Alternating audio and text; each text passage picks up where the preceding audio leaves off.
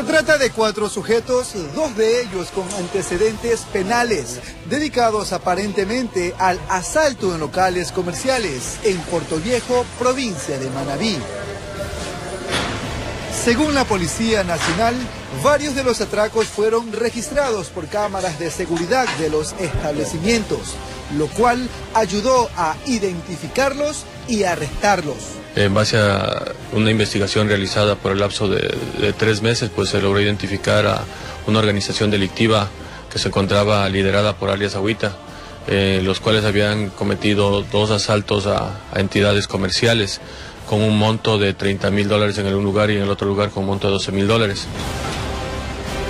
Se realizaron cuatro allanamientos en horas de la madrugada en sectores como Orquídeas, Barrio Fátima y El Guavito.